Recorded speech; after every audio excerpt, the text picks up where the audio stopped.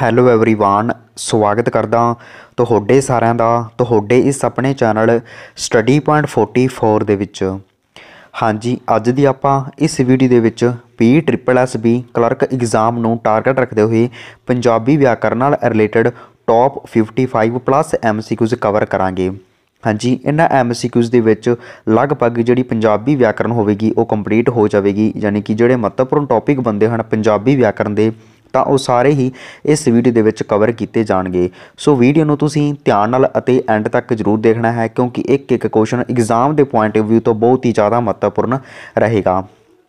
ਸੋ ਅੱਜ ਦੀ ਇਸ ਵੀਡੀਓ ਨੂੰ ਸ਼ੁਰੂ ਕਰਨ ਤੋਂ ਪਹਿਲਾਂ ਜਿਹੜੇ ਵਿਦਿਆਰਥੀ ਇਸ ਚੈਨਲ ਤੇ ਪਹਿਲੀ ਵਾਰ ਵਿਜ਼ਿਟ ਕਰ ਰਹੇ ਹਨ, ਤਾਂ ਪਲੀਜ਼ ਚੈਨਲ ਨੂੰ ਹੁਣੇ ਹੀ ਸਬਸਕ੍ਰਾਈਬ ਕਰਕੇ ਬੈਲ ਆਈਕਨ ਤੇ ਵੀ ਜ਼ਰੂਰ ਪ੍ਰੈਸ ਕਰ ਲਵੋ, ਤਾਂ ਜੋ ਅੱਗੇ ਆਉਣ ਵਾਲੀਆਂ ਹਰੇਕ ਵੀਡੀਓਜ਼ ਦਾ ਨੋਟੀਫਿਕੇਸ਼ਨ ਤੁਹਾਨੂੰ ਟਾਈਮ ਟੂ ਟਾਈਮ ਮਿਲਦਾ ਰਹੇ। ਤਾਂ ਹੁਣ ਆਪਾਂ ਅੱਜ ਦੀ ਇਸ ਵੀਡੀਓ ਨੂੰ ਸ਼ੁਰੂ ਕਰਦੇ ਹਾਂ। ਹਾਂਜੀ, ਆਪਣੇ ਸਾਹਮਣੇ ਪਹਿਲਾ ਪ੍ਰਸ਼ਨ ਦਿੱਤਾ ਗਿਆ ਹੈ ਭਾਸ਼ਾ ਕੀ ਹੈ? ਤਾਂ ਆਪਸ਼ਨਾਂ ਤੁਹਾਡੇ ਸਾਹਮਣੇ ਹਨ, ਸਮਾਜ ਦੀ ਦੇਣ, ਸੰਚਾਰ ਦਾ ਸਾਧਨ, ਉਪਰੋਕਤ ਦੋਨੋਂ ਜਾਂ ਵਿਆਕਰਨ। ਤਾਂ ਇਸ ਦਾ ਆਪਣੇ ਕੋਲ ਸਹੀ ਆਨਸਰ ਹੋ ਜਾਵੇਗਾ ਆਪਸ਼ਨ ਨੰਬਰ ਬੀ ਯਾਨੀ ਕਿ ਸੰਚਾਰ ਦਾ ਸਾਧਨ। ਹਾਂਜੀ ਭਾਸ਼ਾ ਕੀ ਹੈ? ਇਹ ਇੱਕ ਸੰਚਾਰ ਦਾ ਸਾਧਨ ਹੈ ਬੀ ਬਿਲਕੁਲ ਸਹੀ ਆਨਸਰ ਬਣੇਗਾ। ਨੈਕਸਟ ਆਪਾਂ ਦੇਖਦੇ ਹਾਂ ਜੀ, ਜਿਹੜੀ ਭਾਸ਼ਾ ਹੈ, ਇਹ ਕਿੰਨੇ ਪ੍ਰਕਾਰ ਦੀ ਹੁੰਦੀ ਹੈ? 2 3 4 ਜਾਂ 1 ਪਹਿਲਾਂ ਤੁਸੀਂ ਕੀ ਕਰਨਾ ਹੈ? ਹਰੇਕ ਪ੍ਰਸ਼ਨ ਦਾ ਆਨਸਰ ਆਪਣੇ ਮਾਈਂਡ ਦੇ ਵਿੱਚ ਜ਼ਰੂਰ ਸੋਚਣਾ ਹੈ। ਤਾਂ ਜੋ ਤੁਸੀਂ ਆਪਣੇ ਆਪ ਨੂੰ ਚੈੱਕ ਕਰ ਸਕੋਗੇ 50 ਦੇ ਵਿੱਚੋਂ ਤੁਹਾਡੇ ਕਿੰਨੇ ਮਾਰਕਸ ਬੰਦੇ ਹਨ। ਤਾਂ ਇਸ ਦਾ ਆਪਣੇ ਕੋਲ ਸਹੀ ਆਨਸਰ ਰਹੇਗਾ ਆਪਸ਼ਨ ਨੰਬਰ ਏ ਯਾਨੀ ਕਿ 2 ਹਾਂਜੀ, ਜਿਹੜੀ ਭਾਸ਼ਾ ਹੁੰਦੀ ਹੈ, ਇਹ ਦੋ ਪ੍ਰਕਾਰ ਦੀ ਹੁੰਦੀ ਹੈ। ਇੱਕ ਹੁੰਦੀ ਹੈ ਬੋਰਡ ਚਾਲ ਦੀ ਭਾਸ਼ਾ ਐਂਡ ਦੂਸਰੀ ਹੁੰਦੀ ਹੈ ਲਿਖਤ ਭਾਸ਼ਾ। ਬੋਰਡ ਚਾਲ ਦੀ ਭਾਸ਼ਾ ਜਿਵੇਂ ਆਪਾਂ ਆਪਸ ਵਿੱਚ ਗੱਲਬਾਤ ਕਰੀਗਾ ਤਾਂ ਉਹ ਕਿਹੜੀ ਹੋਵੇਗੀ? ਬੋਰਡ ਚਾਲ ਦੀ ਭਾਸ਼ਾ। ਇਸ ਤੋਂ ਇਲਾਵਾ ਲਿਖਤ ਭਾਸ਼ਾ ਜਿਵੇਂ ਆਪਾਂ ਕਿਤਾਬਾਂ ਛਪਦੀਆਂ ਹਨ, ਤਾਂ ਉਹ ਲਿਖਤੀ ਭਾਸ਼ਾ ਹੋਗੀ ਤਾਂ ਜਿਹੜੀ ਭਾਸ਼ਾ ਹੈ, ਉਹ ਦੋ ਪ੍ਰਕਾਰ ਦੀ ਹੁੰਦੀ ਹੈ। ਇਸ ਨੂੰ ਤੁਸੀਂ ਧਿਆਨ ਵਿੱਚ ਰੱਖਣਾ ਹੈ। ਨੈਕਸਟ ਆਪਾਂ ਦੇਖਦੇ ਹਾਂ ਜੀ, ਹੇਠ ਲਿਖਿਆਂ ਵਿੱਚੋਂ ਕਿਹੜੀ ਭਾਸ਼ਾ ਦੀ ਇੱਕ ਕਿਸਮ ਹੈ? ਮੌਖਿਕ ਭਾਸ਼ਾ, ਸਾਹਿਤਿਕ ਭਾਸ਼ਾ, ਉਪਰੋਕਤ ਦੋਨੋਂ ਜਾਂ ਟਕਸਾਲੀ ਭਾਸ਼ਾ? ਤਾਂ ਇਸ ਦਾ ਆਪਣੇ ਕੋਲ ਸਹੀ ਆਨਸਰ ਹੋਵੇਗਾ ਆਪਸ਼ਨ ਨੰਬਰ ਸੀ ਯਾਨੀ ਕਿ ਉਪਰੋਕਤ ਦੋਨੋਂ। ਹਾਂਜੀ ਇਹ ਦੋਨੋਂ ਹੀ ਆਪਣੇ ਕੋਲ ਭਾਸ਼ਾ ਦੀਆਂ ਕਿਸਮਾਂ ਹਨ, ਮੌਖਿਕ ਭਾਸ਼ਾ, ਇਸ ਤੋਂ ਇਲਾਵਾ ਸਾਹਿਤਿਕ ਭਾਸ਼ਾ। ਤਾਂ ਸੀ ਬਿਲਕੁਲ ਸਹੀ ਆਨਸਰ ਬਣੇਗਾ ਆਪਸ਼ਨ ਨੰਬਰ ਸੀ ਨੈਕਸਟ ਆਪਾਂ ਦੇਖਦੇ ਹਾਂ ਜੀ, ਜਿਹੜੀ ਭਾਸ਼ਾ ਸਰਕਾਰੀ ਕੰਮਕਾਜ ਲਈ ਸਿੱਖਿਆ ਅਤੇ ਮੀਡੀਆ ਦੇ ਖੇਤਰ ਵਿੱਚ ਵਰਤੀ ਜਾਵੇ ਉਸ ਨੂੰ ਕਿਹਾ ਜਾਂਦਾ ਹੈ। ਰਾਜ ਭਾਸ਼ਾ, ਟਕਸਾਲੀ ਭਾਸ਼ਾ, ਗੁਪਤ ਭਾਸ਼ਾ ਜਾਂ ਮਾਤ ਭਾਸ਼ਾ। ਤਾਂ ਇਸ ਦਾ ਆਪਣੇ ਕੋਲ ਸਹੀ ਆਨਸਰ ਆਵੇਗਾ ਆਪਸ਼ਨ ਨੰਬਰ ਬੀ ਯਾਨੀ ਕਿ ਟਕਸਾਲੀ ਭਾਸ਼ਾ। ਹਾਂਜੀ, ਜਿਹੜੀ ਭਾਸ਼ਾ ਆਪਾਂ ਸਰਕਾਰੀ ਕੰਮਕਾਜ ਲਈ, ਸਿੱਖਿਆ ਅਤੇ ਮੀਡੀਆ ਦੇ ਖੇਤਰ ਵਿੱਚ ਵਰਤੀ ਜਾਂਦੀ ਹੈ, ਤਾਂ ਉਸ ਨੂੰ ਕਿਹਾ ਜਾਂਦਾ ਹੈ ਟਕਸਾਲੀ ਭਾਸ਼ਾ। ਬੀ ਬਿਲਕੁਲ ਸਹੀ ਆਨਸਰ ਬਣੇਗਾ। ਇਸ ਪ੍ਰਸ਼ਨ ਦੇ ਵਿੱਚ ਬਹੁਤ ਸਾਰੇ ਵਿਦਿਆਰਥੀ ਕਨਫਿਊਜ਼ ਹੋ ਜਾਂਦੇ ਹਨ ਕਿ ਇਸ ਦਾ ਆਨਸਰ ਸ਼ਾਇਦ ਰਾਜ ਭਾਸ਼ਾ ਹੋਵੇਗਾ ਬਟ ਗਲਤ ਹੁੰਦਾ ਹੈ। ਇਸ ਦਾ ਆਪਣੇ ਕੋਲ ਸਹੀ ਆਨਸਰ ਰਹਿੰਦਾ ਹੈ ਟਕਸਾਲੀ ਭਾਸ਼ਾ। ਬੀ ਬਿਲਕੁਲ ਸਹੀ ਆਨਸਰ ਬਣ ਜਾਵੇਗਾ।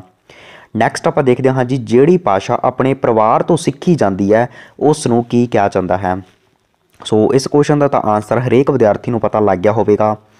ਹਾਂਜੀ, ਇਸ ਤਾਂ ਆਪਣੇ ਕੋਲ ਸਹੀ ਆਨਸਰ ਹੋਵੇਗਾ ਆਪਸ਼ਨ ਨੰਬਰ ਬੀ ਯਾਨੀ ਕਿ ਟਕਸਾਲੀ। ਸੌਰੀ ਸੀ ਆਪਣੇ ਕੋਲ ਸਹੀ ਆਨਸਰ ਹੋਵੇਗਾ ਮਾਤ ਭਾਸ਼ਾ। ਹਾਂਜੀ, ਜਿਹੜੀ ਭਾਸ਼ਾ ਪਰਿਵਾਰ ਤੋਂ ਸਿੱਖੀ ਜਾਂਦੀ ਤਾਂ ਉਸ ਨੂੰ ਨਾਮ ਦਿੱਤਾ ਜਾਂਦਾ ਹੈ ਮਾਤ ਭਾਸ਼ਾ। ਸੀ ਬਿਲਕੁਲ ਸਹੀ ਆਨਸਰ ਬਣੇਗਾ। ਇਹ ਵੀ ਪ੍ਰਸ਼ਨ ਐਗਜ਼ਾਮ 'ਚ ਬਹੁਤ ਵਾਰ ਰਿਪੀਟ ਹੁੰਦਾ ਹੈ। ਨੈਕਸਟ ਆਪਾਂ ਦੇਖਦੇ ਹਾਂ ਜੀ ਪੰਜਾਬੀ ਦੀ ਜਿਹੜੀ ਟਕਸਾਲੀ ਭਾਸ਼ਾ ਹੈ, ਉਹ ਕਿਹੜੀ ਹੈ? ਦੁਆਬੀ ਮਲਵਈ ਪੁਆਧੀ ਜਾਂ ਮਾਝੀ। ਤਾਂ ਇਸ ਦਾ ਆਪਣੇ ਕੋਲ ਸਹੀ ਆਨਸਰ ਆਵੇਗਾ ਆਪਸ਼ਨ ਨੰਬਰ ਡੀ ਯਾਨੀ ਕਿ ਮਾਝੀ। ਹਾਂਜੀ, ਪੰਜਾਬੀ ਦੀ ਟਕਸਾਲੀ ਭਾਸ਼ਾ ਕਿਹੜੀ ਹੈ? ਤਾਂ ਆਨਸਰ ਹੋ ਜਾਵੇਗਾ ਮਾਝੀ ਡੀ ਬਿਲਕੁਲ ਸਹੀ ਆਨਸਰ ਬਣੇਗਾ। ਨੈਕਸਟ ਆਪਾਂ ਦੇਖਦੇ ਹਾਂ ਜੀ, ਇਲਾਕੇ ਦੇ ਆਧਾਰ ਤੇ ਬੋਲੀ ਜਾਣ ਵਾਲੀ ਭਾਸ਼ਾ ਨੂੰ ਕੀ ਕਿਹਾ ਜਾਂਦਾ ਹੈ। ਇਲਾਕੇ ਦਾ ਮੀਨਿੰਗ ਇਹ ਹੁੰਦਾ ਹੈ ਕਿ ਜਿਵੇਂ ਕਿ ਸਾਡਾ ਇੱਥੇ ਫਾਜ਼ਿਲਕਾ ਹੈ, ਤਾਂ ਇੱਥੇ ਅਲੱਗ ਭਾਸ਼ਾ ਬੋਲੀ ਜਾਂਦੀ ਹੈ। ਫਿਰੋਜ਼ਪੁਰ ਥੋੜੀ ਜਿਹੀ ਅਲੱਗ ਹੋਰ ਬੋਲੀ ਜਾਂਦੀ ਭਾਸ਼ਾ। ਇਸ ਤੋਂ ਇਲਾਵਾ ਜਲੰਧਰ ਵਾਲੀ ਸਾਈਡ ਹੋਰ ਅਲੱਗ ਭਾਸ਼ਾ ਬੋਲੀ ਜਾਂਦੀ ਹੈ, ਤਾਂ ਇਸ ਨੂੰ ਕਿਹਾ ਜਾਂਦਾ ਹੈ ਇਲਾਕੇ ਦੇ ਆਧਾਰ ਤੇ ਬੋਲੀ ਜਾਣ ਵਾਲੀ ਭਾਸ਼ਾ। ਤਾਂ ਇਸ ਦਾ ਆਪਣੇ ਕੋਲ ਆਨਸਰ ਹੋਵੇਗਾ ਆਪਸ਼ਨ ਨੰਬਰ ਸੀ ਯਾਨੀ ਕਿ ਉਪਭਾਸ਼ਾ। ਉਸ ਭਾਸ਼ਾ ਨੂੰ ਕਿਹਾ ਜਾਂਦਾ ਹੈ ਉਪ ਸੀ ਬਿਲਕੁਲ ਸਹੀ ਆਨਸਰ ਬਣੇਗਾ। ਇਹ ਪ੍ਰਸ਼ਨ ਬਹੁਤ ਵਾਰ ਰਿਪੀਟ ਹੁੰਦਾ ਹੈ। ਨੈਕਸਟ ਆਪਾਂ ਦੇਖਦੇ ਹਾਂ ਜੀ, ਪੰਜਾਬ ਦੇ ਕਿਹੜੇ ਜ਼ਿਲ੍ਹੇ ਦੇ ਵਿੱਚ ਦੁਆਬੀ ਉਪਭਾਸ਼ਾ ਨਹੀਂ ਬੋਲੀ ਜਾਂਦੀ?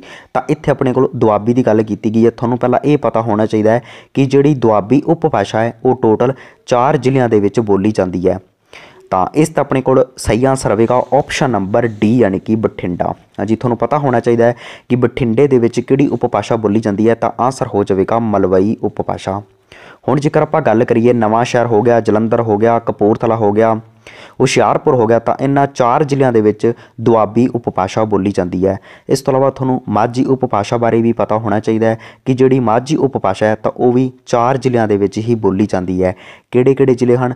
ਜੇ ਜੇਕਰ ਆਪਾਂ ਐਗਜ਼ਾਮਪਲ ਦੀ ਗੱਲ ਕਰੀਏ, ਜਿਵੇਂ ਕਿ ਤਰਨਤਾਰਨ ਹੋ ਗਿਆ, ਗੁਰਦਾਸਪੁਰ ਹੋ ਗਿਆ, ਅੰਮ੍ਰਿਤਸਰ ਹੋ ਗਿਆ, ਪਠਾਨਕੋਟ ਹੋ ਗਿਆ ਤਾਂ ਇਹਨਾਂ ਜ਼ਿਲ੍ਹਿਆਂ ਦੇ ਵਿੱਚ ਜਿਹੜੀ ਮਾਝੀ ਹੈ, ਉਹ ਉਪਭਾਸ਼ਾ ਬੋਲੀ ਜਾਂਦੀ ਹੈ। ਇਸ ਨੂੰ ਤੁਸੀਂ ਧਿਆਨ ਵਿੱਚ ਰੱਖਣਾ ਹੈ। ਅੱਗੇ ਤੁਸੀਂ ਦੇਖ ਵੀ ਸਕਦੇ ਹੋ ਜਿਹੜੀ ਮਲਵਈ ਉਪਭਾਸ਼ਾ ਹੈ, ਇਹ ਵਰਤਮਾਨ ਸਮੇਂ ਦੇ ਵਿੱਚ 15 ਜ਼ਿਲ੍ਹਿਆਂ ਦੇ ਵਿੱਚ ਬੋਲੀ ਜਾਂਦੀ ਹੈ। ਜੇਕਰ ਐਗਜ਼ਾਮ ਵਿੱਚ ਐਵੇਂ ਪ੍ਰਸ਼ਨ ਪੁੱਛਿਆ ਜਾਵੇ ਕਿ ਮਲੇਰ ਕੋਟਲੇ ਦੇ ਵਿੱਚ ਹੇਠ ਲਿਖਾਂ ਵਿੱਚੋਂ ਕਿਹੜੀ ਉਪਭਾਸ਼ਾ ਬੋਲੀ ਜਾਂਦੀ ਹੈ, ਕਿਉਂਕਿ ਤੁਹਾਨੂੰ ਪਤਾ ਹੈ ਕਿ ਜਿਹੜਾ ਮਲੇਰ ਕੋਟਲਾ ਜ਼ਿਲ੍ਹਾ ਹੈ, ਇਹ ਪੰਜਾਬ ਦਾ 30ਵਾਂ ਜ਼ਿਲ੍ਹਾ ਬਣਾ ਹੈ, ਤਾਂ ਇੱਥੇ ਮਲਵਈ ਉਪਭਾਸ਼ਾ ਬੋਲੀ ਜਾਂਦੀ ਹੈ ਬਟ ਜਿਹੜਾ ਇਸ ਦਾ ਪੂਰਬੀ ਇਲਾਕਾ ਹੈ, ਤਾਂ ਉੱਥੇ ਬੋਲੀ ਜਾਂਦੀ ਹੈ ਪੁਆਧੀ ਉਪਭਾਸ਼ਾ। ਸੋ ਇਹਨਾਂ ਦੋਨਾਂ ਗੱਲਾਂ ਨੂੰ ਤੁਸੀਂ ਧਿਆਨ ਦੇ ਵਿੱਚ ਰੱਖਣਾ ਹੈ ਐਂਡ ਜਿਹੜਾ ਮਲੇਰ ਕੋਟਲਾ ਜ਼ਿਲ੍ਹਾ ਹੈ, ਤਾਂ ਇਹ ਸੰਗਰੂਰ ਜ਼ਿਲ੍ਹੇ ਵਿੱਚੋਂ ਬਣਾਇਆ ਗਿਆ ਹੈ। ਇਸ ਤੋਂ ਇਲਾਵਾ ਦੁਆਬੀ ਉਪਭਾਸ਼ਾ ਤੁਸੀਂ ਦੇਖ ਸਕਦੇ ਹੋ, ਮਾਝੀ ਉਪਭਾਸ਼ਾ ਵੀ ਤੁਸੀਂ ਅੱਗੇ ਦੇਖ ਸਕਦੇ ਹੋ, ਆਪਣੇ ਕੋਲ ਜ਼ਿਲ੍ਹੇ ਮੈਂਸ਼ਨ ਕੀਤੇ ਹੋਏ ਹਨ।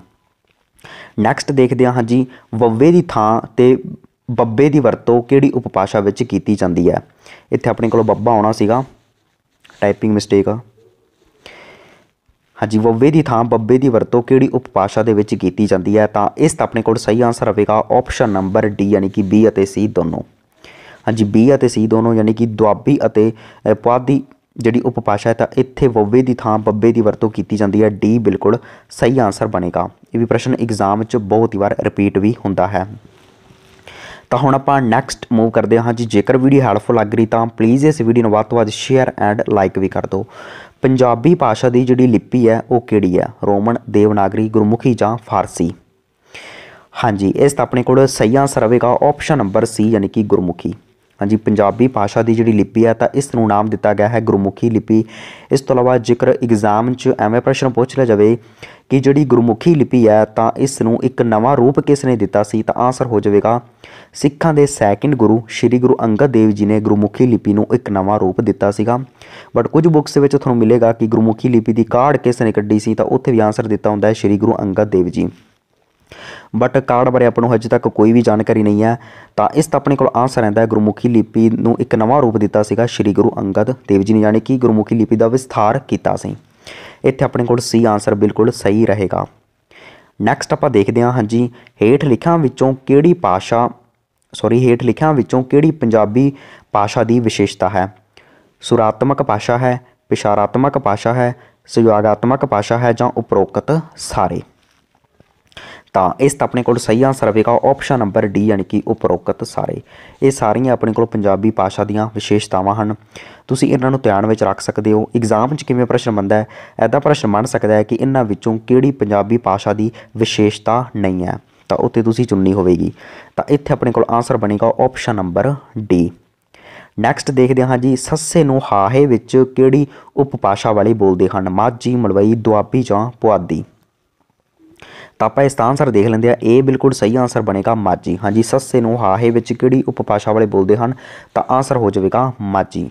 ਯਾਨੀ ਕਿ ਜੇਕਰ ਆਪਾਂ ਗੱਲ ਕਰੀਏ ਮਾਝੀ ਉਪਭਾਸ਼ਾ, ਜਿਵੇਂ ਕਿ ਆਪਣਾ ਡਿਸਟ੍ਰਿਕਟ ਹੋ ਗਿਆ ਅੰਮ੍ਰਿਤਸਰ ਹੋ ਗਿਆ, ਗੁਰਦਾਸਪੁਰ ਹੋ ਗਿਆ, ਤਾਂ ਇੱਥੇ ਬੋਲੀ ਜਾਂਦੀ ਹੈ ਸੱਸੇ, ਯਾਨੀ ਕਿ ਇੱਥੇ ਸੱਸੇ ਨੂੰ ਆਹੇ ਵਿੱਚ ਬੋਲਿਆ ਜਾਂਦਾ ਹੈ, ਤਾਂ ਇਹ ਬਿਲਕੁਲ ਸਹੀ ਆਨਸਰ ਬਣ ਜਾਵੇਗਾ। ਬਟ ਤੁਹਾਨੂੰ ਪਤਾ ਹੈ ਕਿ ਹੁਣ ਆਪਣੇ ਵੀ ਇੱਧਰ ਇਲਾਕੇ ਹਨ, ਕੁਝ ਕੁ ਮਲਵਈ ਉਪਭਾਸ਼ਾ ਵਿੱਚ, ਮਲਵਈ ਜਿਹੜੀ ਉਪਭਾਸ਼ਾ ਬੋਲਦੇ ਹਨ, ਤਾਂ ਉੱਥੇ ਵੀ ਸੱਸੇ ਨੂੰ ਆਹੇ ਵਿੱਚ ਕਨਵਰਟ ਕੀਤਾ ਜਾਂਦਾ, ਯਾਨੀ ਕਿ ਸੱਸੇ ਨੂੰ ਆਹਾ ਕਿਹਾ ਜਾਂਦਾ ਹੈ, ਮਲਵਈ ਉਪਭਾਸ਼ਾ ਦੇ ਵਿੱਚ ਵੀ। ਨੈਕਸਟ ਆਪਾਂ ਦੇਖਦੇ ਹਾਂ ਜੀ, ਬਿਆਸ ਅਤੇ ਸਤਲੁਜ ਦਰਿਆ ਦੇ ਵਿਚਕਾਰਲੇ ਇਲਾਕੇ ਵਿੱਚ ਕਿਹੜੀ ਉਪਭਾਸ਼ਾ ਬੋਲੀ ਜਾਂਦੀ ਹੈ? ਤਾਂ ਇੱਥੇ ਆਪਣੇ ਕੋਲ ਗੱਲ ਕੀਤੀ ਗਈ ਹੈ ਬਿਆਸ ਅਤੇ ਸਤਲੁਜ ਦਰਿਆ ਦੇ ਵਿਚਕਾਰਲੇ ਇਲਾਕੇ ਦੀ। ਤਾਂ ਇਸ ਦਾ ਆਪਣੇ ਕੋਲ ਆਨਸਰ ਬਣੇਗਾ ਆਪਸ਼ਨ ਨੰਬਰ ਏ ਯਾਨੀ ਕਿ ਦੁਆਬੀ। ਹਾਂਜੀ, ਬਿਆਸ ਅਤੇ ਸਤਲੁਜ ਦਰਿਆ ਦੇ ਵਿਚਕਾਰਲੇ ਇਲਾਕੇ ਵਿੱਚ ਬੋਲੀ ਜਾਂਦੀ ਹੈ ਦੁਆਬੀ ਉਪਭਾਸ਼ਾ। ਬਟ ਜੇਕਰ ਰਾਵੀ ਅਤੇ ਬਿਆਸ ਦਰਿਆ ਦੇ ਵਿਚਕਾਰਲੇ ਇਲਾਕੇ ਵਿੱਚ ਉਪਭਾਸ਼ਾ ਪੁੱਛੀ ਜਾਵੇ, ਤਾਂ ਫਿਰ ਆਨਸਰ ਬਣੇਗਾ ਮਾਝੀ ਉਪਭਾਸ਼ਾ। ਇਸ ਤੋਂ ਇਲਾਵਾ ਸਤਲੁਜ ਦਰਿਆ ਦੇ ਦੱਖਣ ਵਾਲੇ ਇਲਾਕੇ ਵਿੱਚ ਕਿਹੜੀ ਉਪਭਾਸ਼ਾ ਬੋਲੀ ਜਾਂਦੀ ਹੈ, ਤਾਂ ਆਨਸਰ ਹੋ ਜਾਵੇਗਾ ਮਲਵਈ ਉਪਭਾਸ਼ਾ। ਸੋ ਇਹਨਾਂ ਸਾਰੀਆਂ ਗੱਲਾਂ ਨੂੰ ਤੁਸੀਂ ਧਿਆਨ ਦੇ ਵਿੱਚ ਰੱਖ ਸਕਦੇ ਹੋ। ਅੱਗੇ ਆਪਣੇ ਕੋਲ ਕੁਝ ਪੁਆਇੰਟ ਵੀ ਦਿੱਤੇ ਵੀ ਹੋਏ ਹਨ। ਰਾਵੀ ਅਤੇ ਬਿਆਸ ਦਰਿਆ ਦੇ ਵਿਚਕਾਰਲੇ ਇਲਾਕੇ ਵਿੱਚ ਮਾਝੀ ਉਪਭਾਸ਼ਾ ਬੋਲੀ ਜਾਂਦੀ ਹੈ। ਸਤਲੁਜ ਦੇ ਦੱਖਣ ਵਾਲੇ ਇਲਾਕੇ ਵਿੱਚ ਮਲਵਈ ਉਪਭਾਸ਼ਾ ਬੋਲੀ ਜਾਂਦੀ ਹੈ। ਨੈਕਸਟ ਆਪਾਂ ਦੇਖਦੇ ਹਾਂ ਜੀ ਕਿਹੜੀ ਉਪਭਾਸ਼ਾ ਦੇ ਵਿੱਚ ਸੀ ਨੂੰ ਤੀ ਬੋਲਿਆ ਜਾਂਦਾ ਹੈ? ਇਹ ਪ੍ਰਸ਼ਨ ਬਹੁਤ ਹੀ ਵਾਰ ਐਗਜ਼ਾਮ 'ਚ ਰਿਪੀਟ ਹੁੰਦਾ ਹੈ। ਹਾਂਜੀ, ਇਸ ਦਾ ਆਪਣੇ ਕੋਲ ਸਹੀ ਆਨਸਰ ਆਵੇਗਾ ਆਪਸ਼ਨ ਨੰਬਰ ਡੀ ਯਾਨੀ ਕਿ ਪੁਆਧੀ। ਹਾਂਜੀ, ਕਿਹੜੀ ਉਪਭਾਸ਼ਾ ਵਿੱਚ ਸੀ ਨੂੰ ਤੀ ਬੋਲਿਆ ਜਾਂਦਾ ਹੈ ਤਾਂ ਆਨਸਰ ਹੋ ਜਾਵੇਗਾ ਪੁਆਧੀ ਉਪਭਾਸ਼ਾ। ਤੁਹਾਨੂੰ ਪਤਾ ਹੋਣਾ ਚਾਹੀਦਾ ਹੈ ਕਿ ਜਿਹੜਾ ਪਟਿਆਲਾ ਹੋ ਗਿਆ, ਸੰਗਰੂਰ ਹੋ ਗਿਆ, ਤਾਂ ਇੱਥੋਂ ਦਾ ਜਿਹੜਾ ਪੂਰਬੀ ਇਲਾਕਾ ਹੈ ਤਾਂ ਇੱਥੇ ਸੀ ਨੂੰ ਤੀ ਬੋਲਿਆ ਜਾਂਦਾ ਹੈ। ਇਸ ਨੂੰ ਤੁਸੀਂ ਧਿਆਨ ਵਿੱਚ ਰੱਖ ਸਕਦੇ ਹੋ। ਡੀ ਬਿਲਕੁਲ ਸਹੀ ਆਨਸਰ ਬਣੇਗਾ। ਨੈਕਸਟ ਆਪਾਂ ਦੇਖਦੇ ਹਾਂ, ਹਾਂਜੀ, ਕਿਹੜੀ ਉਪਭਾਸ਼ਾ ਦੇ ਵਿੱਚ ਵੱਵੇ ਨੂੰ ਮੰਮਾ ਬੋਲਿਆ ਜਾਂਦਾ ਹੈ? ਮਲਵਈ, ਦੁਆਬੀ, ਪੁਆਧੀ ਜਾਂ ਮਾਝੀ। ਤਾਂ ਆਪਾਂ ਇਸ ਦਾ ਆਨਸਰ ਇੱਕ ਵਾਰ ਦੇਖਦੇ ਹਾਂ। ਇਹ ਬਿਲਕੁਲ ਸਹੀ ਆਨਸਰ ਬਣੇਗਾ ਮਲਵਈ। ਹਾਂਜੀ, ਜਿਹੜੀ ਆਪਣੀ ਮਲਵਈ ਭਾਸ਼ਾ ਹੈ, ਤਾਂ ਇੱਥੇ ਵੱਵੇ ਨੂੰ ਮੰਮਾ ਬੋਲਿਆ ਜਾਂਦਾ ਹੈ। ਇਹ ਬਿਲਕੁਲ ਸਹੀ ਆਨਸਰ ਬਣੇਗਾ ਮਲਵਈ ਉਪਭਾਸ਼ਾ। ਨੈਕਸਟ ਆਪਾਂ ਦੇਖਦੇ ਹਾਂ, ਜਿਵੇਂ ਇੱਥੇ ਤੀਵੀਂ ਨੂੰ ਤੀਵੀਂ ਬੋਲਿਆ ਜਾਂਦਾ ਹੈ।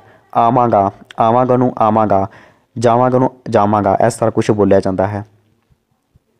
ਨੈਕਸਟ ਆਪਾਂ ਦੇਖਦੇ ਹਾਂ, ਜੀ ਹੇਠ ਲਿਖਿਆ ਵਿੱਚੋਂ ਕਿਹੜੀ ਕਿਹੜੇ ਇਲਾਕੇ ਵਿੱਚ ਡੋਗਰੀ ਉਪਭਾਸ਼ਾ ਬੋਲੀ ਜਾਂਦੀ ਹੈ? ਜੰਮੂ, ਕਾਂਗੜਾ, ਸਿਆਲਕੋਟ ਜਾਂ ਉਪਰੋਕਤ ਸਾਰੇ?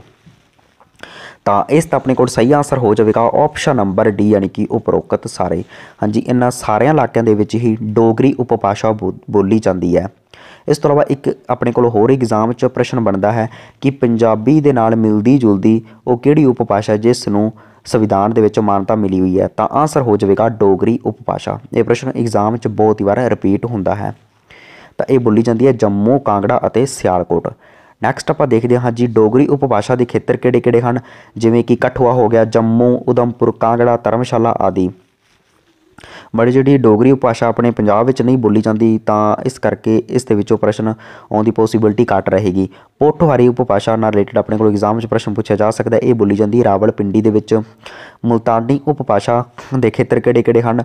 ਇਹ ਹਨ ਡੇਰਾ ਗਾਜੀ ਖਾਂ, ਚੰਗ, ਬਹਾਵਲਪੁਰ, ਮੁਜ਼ੱਫਰਗੜ੍ਹ ਆਦਿ। ਤਾਂ ਇੱਥੇ ਮੁਲਤਾਨੀ ਉਪਭਾਸ਼ਾ ਬੋਲੀ ਜਾਂਦੀ ਹੈ। ਸੋ ਇਹਨਾਂ ਸਾਰੀਆਂ ਗੱਲਾਂ ਨੂੰ ਤੁਸੀਂ ਧਿਆਨ ਦੇ ਵਿੱਚ ਰੱਖਣਾ ਐਂਡ ਤੁਸੀਂ ਇਹਨਾਂ ਨੂੰ ਅਲੱਗ ਤੋਂ ਨੋਟ ਵੀ ਕਰ ਸਕਦੇ ਹੋ।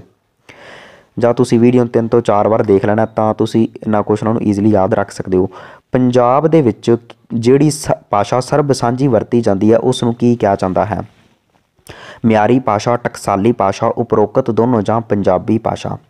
ਤਾਂ ਇਸ ਦਾ ਆਪਣੇ ਕੋਲ ਆਨਸਰ ਹੋਵੇਗਾ ਆਪਸ਼ਨ ਨੰਬਰ ਸੀ ਯਾਨੀ ਕਿ ਉਪਰੋਕਤ ਦੋਨੋਂ। ਹਾਂਜੀ, ਪੰਜਾਬੀ ਵਿੱਚ ਜਿਹੜੀ ਭਾਸ਼ਾ ਸਰਬ ਸਾਂਝੀ ਵਰਤੀ ਜਾਂਦੀ ਹੈ, ਤਾਂ ਉਸ ਨੂੰ ਕਿਹਾ ਜਾਂਦਾ ਹੈ ਮਿਆਰੀ ਭਾਸ਼ਾ ਅਤੇ ਟਕਸਾਲੀ ਭਾਸ਼ਾ। ਸੀ ਬਿਲਕੁਲ ਸਹੀ ਆਨਸਰ ਬਣੇਗਾ। ਨੈਕਸਟ ਆਪਾਂ ਦੇਖਦੇ ਹਾਂ, ਹਾਂਜੀ ਪਾਕਿਸਤਾਨ ਦੇ ਵਿੱਚ ਸਭ ਤੋਂ ਵੱਧ ਬੋਲੀ ਜਾਣ ਵਾਲੀ ਉਪਭਾਸ਼ਾ ਕਿਹੜੀ ਹੈ? ਪੋਠੋਹਾਰੀ, ਲਹਿੰਦੀ, ਸਿੰਧੀ ਜਾਂ ਮੁਲਤਾਨੀ? ਤਾਂ ਇੱਥੇ ਆਪਣੇ ਕੋਲ ਗੱਲ ਕੀਤੀ ਗਈ ਹੈ ਪਾਕਿਸਤਾਨ ਦੀ। ਤਾਂ ਪਾਕਿਸਤਾਨ ਦੇ ਵਿੱਚ ਜਿਹੜੀ ਮੁਲਤਾਨੀ ਉਪਭਾਸ਼ਾ ਹੈ, ਇਹ ਸਭ ਤੋਂ ਵੱਧ ਬੋਲੀ ਜਾਂਦੀ ਹੈ। ਤਾਂ ਡੀ ਬਿਲਕੁਲ ਸਹੀ ਆਨਸਰ ਬਣ ਜਾਵੇਗਾ। ਇਸ ਤੋਂ ਇਲਾਵਾ ਪਾਕਿਸਤਾਨ ਦੇ ਵਿੱਚ ਲਹਿੰਦੀ ਉਪਭਾਸ਼ਾ ਵੀ ਬੋਲੀ ਜਾਂਦੀ ਹੈ ਐਂਡ ਸਿੰਧੀ ਉਪਭਾਸ਼ਾ ਵੀ ਬੋਲੀ ਜਾਂਦੀ ਹੈ। ਬਟ ਜੇਕਰ ਸਭ ਤੋਂ ਵੱਧ ਪੁੱਛੀ ਜਾਵੇ ਤਾਂ ਆਨਸਰ ਹੋ ਜਾਵੇਗਾ ਮੁਲਤਾਨੀ ਉਪਭਾਸ਼ਾ। ਨੈਕਸਟ ਆਪਾਂ ਦੇਖਦੇ ਹਾਂ ਜੀ, ਵਿਆਕਰਨ ਜਿਹੜਾ ਹੈ, ਇਹ ਕਿਹੜੀ ਭਾਸ਼ਾ ਦਾ ਸ਼ਬਦ ਹੈ? ਅਰਬੀ, ਫਾਰਸੀ, ਸੰਸਕ੍ਰਿਤ ਜਾਂ ਲਾਤੀਨੀ? ਹਾਂਜੀ, ਇਸ ਦਾ ਆਪਣੇ ਕੋਲ ਸਹੀ ਆਨਸਰ ਬਣੇਗਾ ਆਪਸ਼ਨ ਨੰਬਰ ਸੀ ਯਾਨੀ ਕਿ ਸੰਸਕ੍ਰਿਤ। ਹਾਂਜੀ, ਜਿਹੜਾ ਵਿਆਕਰਨ ਸ਼ਬਦ ਹੈ, ਇਹ ਕਿਹੜੀ ਭਾਸ਼ਾ ਦਾ ਸ਼ਬਦ ਹੈ? ਤਾਂ ਆਨਸਰ ਹੋ ਜਾਵੇਗਾ, ਇਹ ਸੰਸਕ੍ਰਿਤ ਭਾਸ਼ਾ ਦਾ ਸ਼ਬਦ ਹੈ ਸੀ ਬਿਲਕੁਲ ਸਹੀ ਆਨਸਰ ਬਣੇਗਾ। ਨੈਕਸਟ ਵਿਆਕਰਨ ਦੇ ਜਿਹੜੇ ਹਨ, ਇਹ ਕੁੱਲ ਕਿੰਨੇ ਭਾਗ ਇਸ ਤੇ ਹੁੰਦੇ ਹਨ? 4 5 3 ਜਾਂ 2 ਹਾਂਜੀ, ਇਸ ਦਾ ਆਪਣੇ ਕੋਲ ਸਹੀ ਆਨਸਰ ਹੋਵੇਗਾ ਆਪਸ਼ਨ ਨੰਬਰ ਏ ਯਾਨੀ ਕਿ 4 ਹਾਂਜੀ, ਵਿਆਕਰਨ ਦੇ ਕੋਲ 4 ਭਾਗ ਹੁੰਦੇ ਹਨ। ਅੱਗੇ ਆਪਾਂ ਦੇਖ ਲੈਂਦੇ ਇਹਦੇ ਕਿਹੜੇ ਕਿਹੜੇ ਭਾਗ ਹਨ। ਵਿਆਕਰਨ ਦੇ ਭਾਗ ਹੁੰਦੇ ਹਨ, ਵਰਣਬੋਧ। ਵਰਣਬੋਧ ਨੂੰ ਅੱਖਰਬੋਧ ਦੇ ਨਾਮ ਨਾਲ ਵੀ ਜਾਣਿਆ ਜਾਂਦਾ ਹੈ। ਇਸ ਤੋਂ ਇਲਾਵਾ ਸ਼ਬਦਬੋਧ ਹੋ ਗਿਆ, ਅਰਥਬੋਧ ਹੋ ਗਿਆ ਅਤੇ ਵਾਕਬੋਧ ਹੋ ਗਿਆ। ਤਾਂ ਵਿਆਕਰਨ ਦੇ 4 ਭਾਗ ਪ੍ਰਮੁੱਖ ਮੰਨੇ ਜਾਂਦੇ ਹਨ। ਨੈਕਸਟ ਆਪਾਂ ਦੇਖਦੇ ਹਾਂ, ਹਾਂਜੀ, ਧੁਨੀ ਦਾ ਅਰਥ ਕੀ ਆ? ਵਰਨ, ਅੱਖਰ, ਆਵਾਜ਼ ਜਾਂ ਉਪਰੋਕਤ ਸਾਰੇ? ਹਾਂਜੀ ਧੁਨੀ ਦਾ मीनिंग ਹੁੰਦਾ ਹੈ ਆਵਾਜ਼ ਸੀ ਬਿਲਕੁਲ ਸਹੀ ਆਨਸਰ ਬਣੇਗਾ ਆਵਾਜ਼ ਐਦਾਂ ਦੇ ਪ੍ਰਸ਼ਨ ਐਗਜ਼ਾਮ 'ਚ ਪੁੱਛੇ ਜਾ ਸਕਦੇ ਹਨ ਬਟ ਕੁਝ ਵਿਦਿਆਰਥੀ ਅ, ਇਹਨਾਂ ਕੁਐਸਚਨਾਂ ਦੇ ਵਿੱਚ ਵੀ ਕਨਫਿਊਜ਼ ਹੋ ਜਾਂਦੇ ਹਨ ਬਟ ਜਿਹੜਾ ਧੁਨੀ ਦਾ ਅਰਥ ਹੁੰਦਾ ਹੈ ਉਸ ਦਾ मीनिंग ਹੁੰਦਾ ਹੈ ਆਵਾਜ਼ ਸੀ ਬਿਲਕੁਲ ਸਹੀ ਆਨਸਰ ਬਣੇਗਾ ਨੈਕਸਟ ਆਪਾਂ ਦੇਖਦੇ ਹਾਂ ਹਾਂਜੀ ਪੰਜਾਬੀ ਦੀਆਂ ਧੁਨੀਆਂ ਨੂੰ ਕਿੰਨੇ ਵਰਗਾਂ ਦੇ ਵਿੱਚ ਵੰਡਿਆ ਗਿਆ ਹੈ 2 3 4 ਜਾਂ 5 ਹਾਂਜੀ ਇਸ ਦਾ ਆਪਣੇ ਕੋਲ ਸਹੀ ਆਨਸਰ ਹੋਵੇਗਾ ਆਪਸ਼ਨ ਨੰਬਰ ਏ ਯਾਨੀ ਕਿ ਦੋ। ਹਾਂਜੀ, ਜਿਹੜੀ ਪੰਜਾਬੀ ਦੀਆਂ ਧੁਨੀਆਂ ਹਨ ਤਾਂ ਇਹਨਾਂ ਨੂੰ ਦੋ ਵਰਗਾਂ ਦੇ ਵਰਗਾਂ ਦੇ ਵਿੱਚ ਵੰਡਿਆ ਗਿਆ। ਕਿਹੜੇ ਕਿਹੜੇ ਇੱਕ ਹੋ ਗਿਆ ਸਵਰ ਐਂਡ ਦੂਸਰੇ ਹੋ ਗਿਆ ਵਿਅੰਜਨ। ਸਵਰਾਂ ਦੀ ਤੁਹਾਨੂੰ ਗਿਣਤੀ ਪਤਾ ਹੋਣੀ ਚਾਹੀਦੀ। ਜਿਹੜੇ ਸਵਰ ਹਨ ਤਾਂ ਇਹਨਾਂ ਦੀ ਗਿਣਤੀ ਹੈ ਤਿੰਨ, ਯਾਨੀ ਕਿ ਸਵਰ ਜਿਹੜੇ ਅੱਖਰ ਹਨ, ਇਹਨਾਂ ਦੀ ਗਿਣਤੀ ਹੈ ਤਿੰਨ ਐਂਡ ਜਿਹੜੀਆਂ ਸਵਰ ਧੁਨੀਆਂ ਹਨ ਤਾਂ ਉਹਨਾਂ ਦੀ ਗਿਣਤੀ ਹੈ 10 ਸੋ ਇਹਨਾਂ ਗੱਲਾਂ ਨੂੰ ਤੁਸੀਂ ਧਿਆਨ ਵਿੱਚ ਰੱਖ ਸਕਦੇ ਹੋ। ਨੈਕਸਟ ਆਪਾਂ ਦੇਖਦੇ ਹਾਂ ਜੀ, ਧੁਨੀਆਂ ਦੇ ਪ੍ਰਕਾਰ ਹਨ ਸਵਰ ਅਤੇ ਵਿਅੰਜਨ। ਪੰਜਾਬੀ ਵਿੱਚ ਕੁੱਲ ਸਵਰ ਕਿੰਨੇ ਹਨ? 2 3 4 ਜਾਂ 5 ਹਾਂਜੀ, ਇਸ ਦਾ ਆਪਣੇ ਕੋਲ ਸਹੀ ਆਨਸਰ ਹੋਵੇਗਾ ਆਪਸ਼ਨ ਨੰਬਰ ਬੀ ਯਾਨੀ ਕਿ 3 ਹਾਂਜੀ, ਪੰਜਾਬੀ ਦੇ ਵਿੱਚ ਕੁੱਲ ਸਵਰ ਕਿੰਨੇ ਹਨ? ਤਾਂ ਆਨਸਰ ਹੋ ਜਾਵੇਗਾ 3 ਇੱਕ ਆਪਣੇ ਕੋਲ ਓੜਾ ਦੂਸਰਾ ਆਪਣੇ ਕੋਲ ਕਿਹੜਾ? ਐੜਾ ਐਂਡ ਤੀਸਰਾ ਆਪਣੇ ਕੋਲ ਈਡੀ ਤਾਂ ਪੰਜਾਬੀ ਦੇ ਵਿੱਚ ਕੁੱਲ 3 ਸਵਰ ਅੱਖਰ ਹਨ। ਜੇਕਰ ਸਵਰ ਦੁਨੀਆ ਪੁੱਛੀਆਂ ਜਾਣ ਤਾਂ ਆਨਸਰ ਹੋ ਜਾਵੇਗਾ 10 ਇੱਥੇ ਤੁਸੀਂ ਦੇਖ ਸਕਦੇ ਹੋ ਸਵਰ ਅੱਖਰ ਹਨ ਤਿੰਨ। ਇੱਥੇ ਆਪਣੇ ਕੋਲ ਓੜਾ ਫਸਟ ਫਿਰ ਐੜਾ, ਫਿਰ ਈਡੀ ਸਵਰ ਧੁਨੀਆਂ ਕਿੰਨੀਆਂ ਹਨ? ਸਵਰ ਧੁਨੀਆਂ ਹਨ। 10 ਅੱਗੇ ਤੁਸੀਂ ਧਿਆਨ ਨਾਲ ਇਹਨਾਂ ਨੂੰ ਦੇਖ ਸਕਦੇ ਹੋ। ਸਵਰ ਦੁਨੀਆ ਦੁਨੀਆ ਧੁਨੀਆਂ ਨੱਚ ਕਿਹੜੀਆਂ ਹਨ? ਇਸ ਤੋਂ ਇਲਾਵਾ ਹਰਸਵ ਜਾਂ ਲਘੂ ਸਵਰ, ਯਾਨੀ ਕਿ ਜਿਨ੍ਹਾਂ ਨੂੰ ਬੋਲਣ ਵਿੱਚ ਥੋੜਾ ਘੱਟ ਸਮਾਂ ਲੱਗਦਾ ਹੈ। ਤਾਂ ਉਹਨਾਂ ਨੂੰ ਕਿਹਾ ਜਾਂਦਾ ਹਰਸਵ ਜਾਂ ਲਘੂ ਸਵਰ ਧੁਨੀਆਂ ਅੱਗੇ ਤੁਸੀਂ ਇਹਨਾਂ ਨੂੰ ਦੇਖ ਸਕਦੇ ਹੋ, ਦੀਰਘ ਸਵਰ ਧੁਨੀਆਂ ਵੀ ਆਪਣੇ ਕੋਲ ਮੈਂਸ਼ਨ ਕੀਤੀਆਂ ਹੋਈਆਂ ਹਨ। ਇੱਥੇ ਆਪਣੇ ਕੋਲ ਇਹਨਾਂ ਦੀ ਗਿਣਤੀ ਵੀ ਕਈ ਵਾਰ ਪੁੱਛ ਲਈ ਜਾਂਦੀ ਹੈ ਕਿ ਜਿਹੜੀਆਂ ਲਘੂ ਸਵਰ ਧੁਨੀਆਂ ਹਨ, ਤਾਂ ਇਹਨਾਂ ਦੀ ਗਿਣਤੀ ਕਿੰਨੀ ਹੈ? ਤਾਂ ਆਨਸਰ ਹੋ ਜਾਵੇਗਾ, ਇਹਨਾਂ ਦੀ ਗਿਣਤੀ 3 ਹੈ ਐਂਡ ਇਹਨਾਂ ਦੀ ਗਿਣਤੀ ਹੈ 7 ਸੋ ਇਹਨਾਂ ਦੋਨਾਂ ਪੁਆਇੰਟਸ ਨੂੰ ਵੀ ਤੁਸੀਂ ਧਿਆਨ ਦੇ ਵਿੱਚ ਜ਼ਰੂਰ ਰੱਖਣਾ ਐਦਾਂ ਦੇ ਐਗਜ਼ਾਮ 'ਚ ਪ੍ਰਸ਼ਨ ਬਣ ਜਾਂਦੇ ਹਨ। ਪੰਜਾਬੀ ਭਾਸ਼ਾ ਦੇ ਵਿੱਚ ਕੁੱਲ ਕਿੰਨੇ ਵਿਅੰਜਨ ਹਨ? 35 38 40 ਜਾਂ 45 ਹਾਂਜੀ, ਇਸ ਦਾ ਆਪਣੇ ਕੋਲ ਸਹੀ ਆਨਸਰ ਹੋਵੇਗਾ ਆਪਸ਼ਨ ਨੰਬਰ ਬੀ ਯਾਨੀ ਕਿ 38 ਹਾਂਜੀ, ਪੰਜਾਬੀ ਭਾਸ਼ਾ ਦੇ ਵਿੱਚ ਕੁੱਲ ਵਿਅੰਜਨਾਂ ਦੀ ਗਿਣਤੀ ਕਿੰਨੀ ਹੈ? ਤਾਂ ਆਨਸਰ ਹੋ ਜਾਵੇਗਾ 38 ਬੀ ਬਿਲਕੁਲ ਸਹੀ ਆਨਸਰ ਬਣੇਗਾ। ਇਸ ਤੋਂ ਇਲਾਵਾ ਜੇਕਰ ਆਪਾਂ ਗੱਲ ਕਰੀਏ ਜਿਹੜੀ ਆਪਣੀ ਪੰਜਾਬੀ ਭਾਸ਼ਾ ਤਾਂ ਇਸ ਦੇ ਵਿੱਚ ਜਿਹੜੇ ਸ਼ੁੱਧ ਵਿਅੰਜਨ ਹਨ, ਸ਼ੁੱਧ ਵਿਅੰਜਨਾਂ ਦੀ ਗਿਣਤੀ ਕਿੰਨੀ ਹੈ, ਤਾਂ ਆਨਸਰ ਹੋ ਜਾਵੇਗਾ 29 ਸੋ ਐਦਾਂ ਦੇ ਐਗਜ਼ਾਮ 'ਚ ਕੁਐਸਚਨ ਬਣ ਜਾਂਦੇ ਹਨ। ਇਹਨਾਂ ਨੂੰ ਵੀ ਤੁਸੀਂ ਧਿਆਨ ਦੇ ਵਿੱਚ ਰੱਖਣਾ ਹੈ।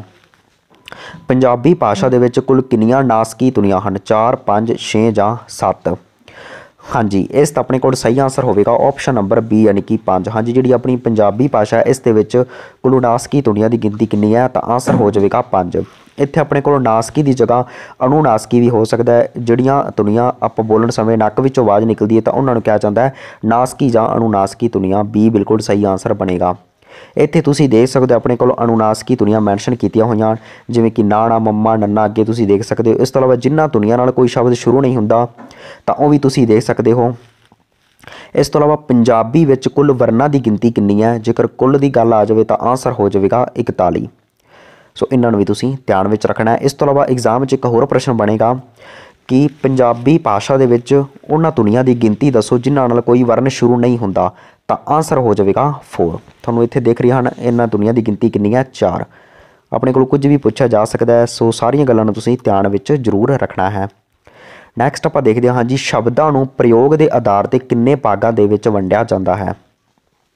ਹਾਂਜੀ, ਇਸ ਦਾ ਆਪਣੇ ਕੋਲ ਸਹੀ ਆਨਸਰ ਹੋਵੇਗਾ ਆਪਸ਼ਨ ਨੰਬਰ ਡੀ ਯਾਨੀ ਕਿ 8 ਹਾਂਜੀ, ਸ਼ਬਦਾਂ ਨੂੰ ਪ੍ਰਯੋਗ ਦੇ ਆਧਾਰ ਤੇ 8 ਭਾਗਾਂ ਦੇ ਵਿੱਚ ਵੰਡਿਆ ਜਾਂਦਾ ਹੈ। ਡੀ ਬਿਲਕੁਲ ਸਹੀ ਆਨਸਰ ਹੋਵੇਗਾ।